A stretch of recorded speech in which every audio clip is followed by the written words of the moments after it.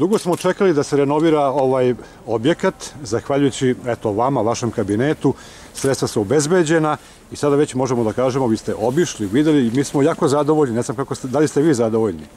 E, Sa osjećanjem posebnog zadovoljstva videla sam prostor u koji je kabinet na čijem sam čelu, dakle vlada Republike Srbije uložila blizu 14 miliona nepovratnih sredstava. Opština je sa svojih 5 miliona takođe učestvovala i to je dalo mogućnost da 120 mališana bude primljeno u ovaj vrtić, što znači da više nemamo liste čekanja.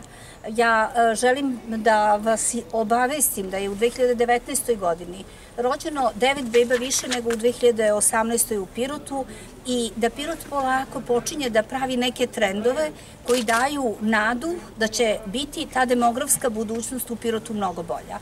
Dobra saradnja lokalne samouprave sa vladom Republike Srbije i resornim ministarstvima zaista rezultira dobrim, kao što vidimo sada, i poslovima i rezultatima.